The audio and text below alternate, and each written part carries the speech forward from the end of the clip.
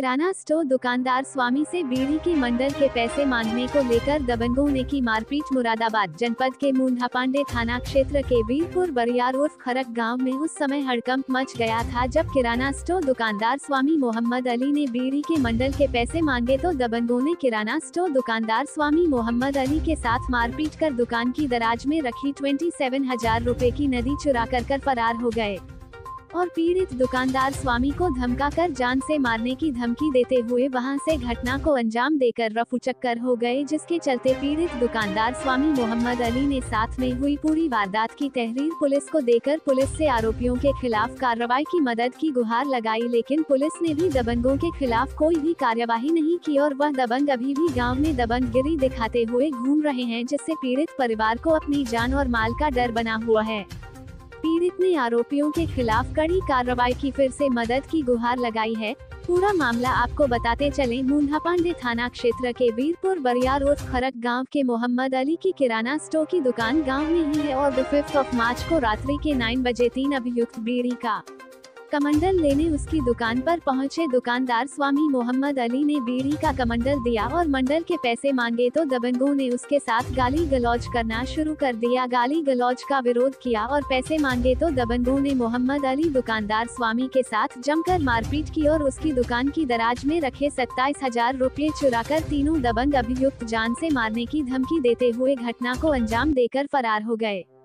पूरी घटना की जानकारी डायल 112 पुलिस को पीड़ित ने दी सूचना पाकर पुलिस घटना स्थल पर पहुँची और पीड़ित को पुलिस थाने लेकर पहुँची और मामला दर्ज कर जाँच शुरू की। लेकिन दबंग अभियुक्तों के खिलाफ पुलिस ने कोई भी कार्रवाई नहीं की है और वह दबंग अभियुक्त अभी भी बेखौफ होकर गाँव में दबंगई दिखाते हुए घूम रहे हैं, जिससे पीड़ित दुकानदार स्वामी को अपनी जान और माल का खतरा बना हुआ है। पीड़ित दुकानदार स्वामी ने मीडिया से मुखातिब होते हुए दबंग अभियुक्तों के खिलाफ फिर से कड़ी कार्रवाई की मदद मदद की गुहार लगाई है।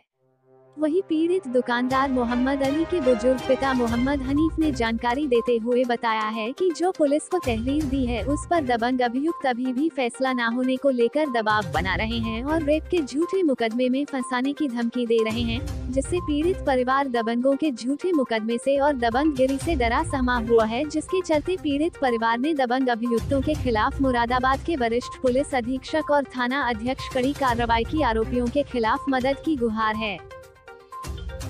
आपका? मेरा नाम हनीफ है। हनीफ जी आपको देखिए साहब दिन हफ़्ते का था। रात के साढ़े नौ पौने दस का टाइम था दुकान बंद होने का टाइम था।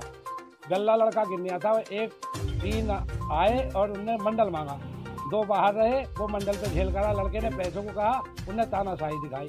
दोनों ने आके मारपीट करी और पैसे लेके और यहाँ से चले गए। और अब हमसे ये कहते हैं कि अगर फैसला नहीं करोगे तो तुम्हें छिहत्तर के केस में फंसवा देंगे। पुलिस का पुलिस का ये कहना है कि मतलब कि छोटे मुकदमे में फंसा देंगे। पुलिस में तो तहरीर दी है हमने। तो बस उसी दिन आई है। और फिर मतलब कि आई नहीं है। किस तरीके का डर बना हुआ है आपको? और हमें तो इस बच्चे का डर बना हुआ है कि वो ये कह रहे हैं कि हम तुम्हें छिहत्तर के केस में फंसवा देंगे। हम अपने बच्चों से डर डरे साहब हम तो ये इस किस्म के आदमी हैं वो। इसी किस्म के आदमी है साहब। गंदे गंदे हिसाब के दैनिक के आदमियों ने इज़्ज़त बेइज्जती का कोई पता नहीं है। है?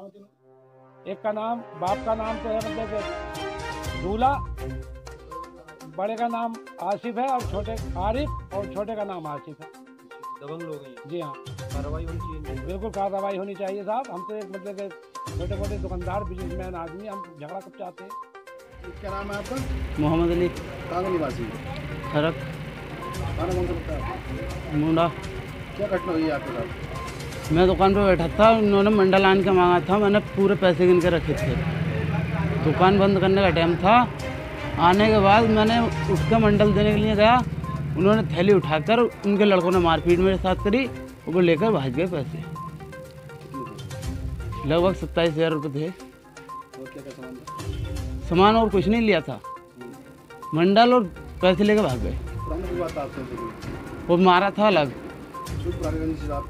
पुरानी कोई रंजिश नहीं है। मंडल के ऊपर। उन्होंने तो हमसे मंडल ही मांगा, हमने तो मंडल दे दिया। मंडल देने गए। आसिफ आरिफ दूल्हा।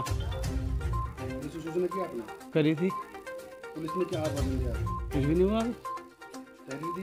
दी थी। एक बार आई थी उसके बाद कुछ नहीं। दोबारा थाने आप दोबारा थाने नहीं आपने? एस एस पी के यहाँ गए करी थी।